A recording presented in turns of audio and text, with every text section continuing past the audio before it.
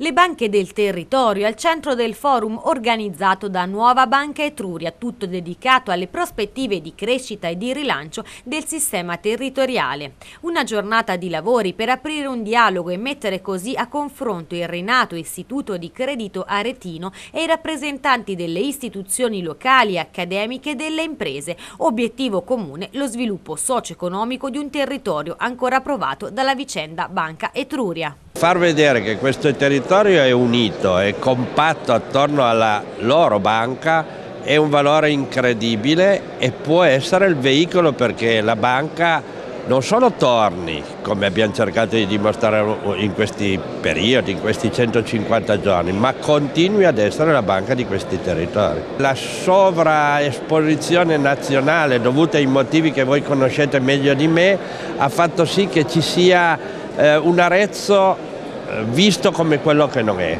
Da oggi, oggi è un punto di ripartenza, vogliamo eh, dire la banca è pronta a questo e dire a chi sul territorio opera assieme facciamo qualcosa perché Arezzo torni a quello che merita. Proprio in un momento in cui la nostra città sta tentando a fatica ma in maniera positiva di uscire da una crisi di cui non è responsabile avere una banca del territorio che è in grado di sostenere economicamente non solo le famiglie ma soprattutto gli imprenditori in questa fase di rilancio è fondamentale. Quindi il mio auspicio va a che questa banca rimanga sul territorio e che il nuovo proprietario la mantenga magari in maniera ancora migliore di come è adesso, però che mantenga il legame stretto con le famiglie e con gli imprenditori aretini.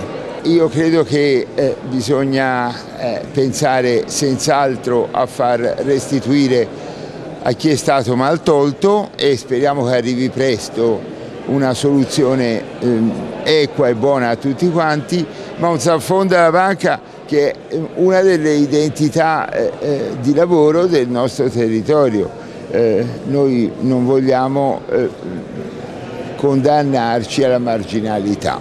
Istituzioni dovevano fare ciascuno la propria parte credo che sia giusto che ciascuno faccia il suo. No?